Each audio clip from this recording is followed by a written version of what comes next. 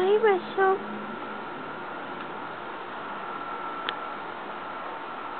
Are you protecting Persephone? Hmm? Is that your new cuddle buddy? Hmm.